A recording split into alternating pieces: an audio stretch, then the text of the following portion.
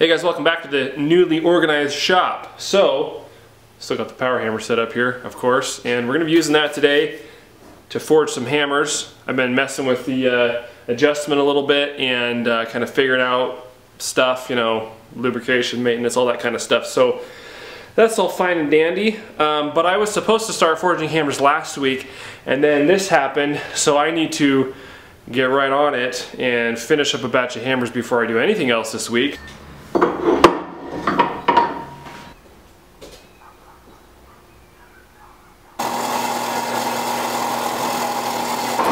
Okay, so while we're getting stock cut up for hammers, I'm just going to show you a couple things on the uh, 50 pound Little Giant here that I'm learning uh, as far as maintenance and adjustment and stuff.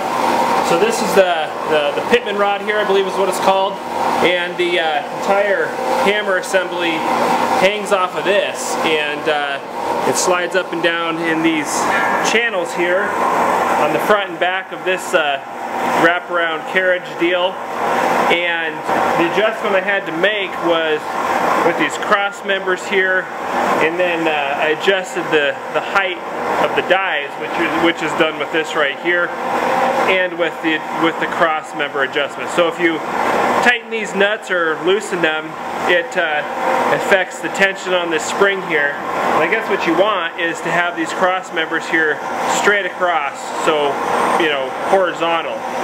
And uh, that's going to provide you with the proper spring tension here. And then when that's right you adjust this up and down for your for your uh, heights the height of your dies here which I'll show you that. So what you need to be able to adjust is the uh, height of your dies when it's at the full length of the stroke because that's where the uh, that's where the most um, power is going to be in the hammer. And so I've got to adjust it to about 7 eighths right now. Um, I don't know if that's going to be ideal uh, for forging hammer stock which is two and a half inches around. It may not be. I'm, I'm not really expecting it to be but for most of the other stuff that I'm actually going to be doing it should be about perfect. So we'll see how that works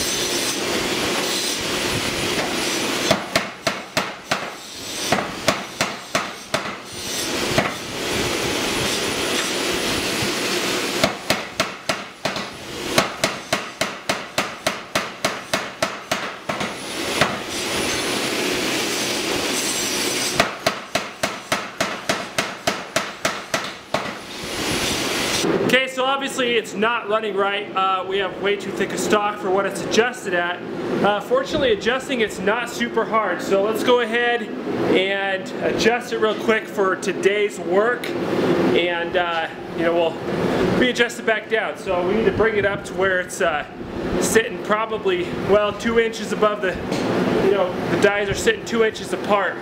The only problem we might run into is this rear guide running into the flywheel.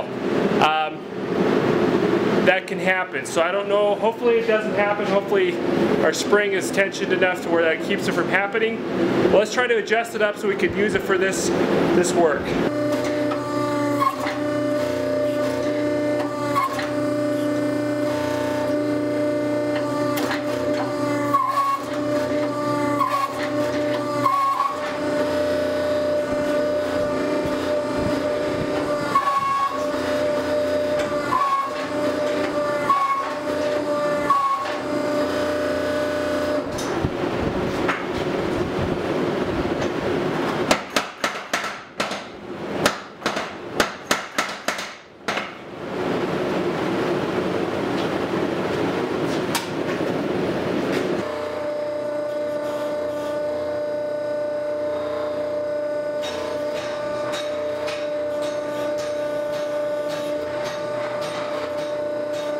Alright, so it's the next day, and as you saw, there really was no power hammer footage. So what happened? Well, here's what happened.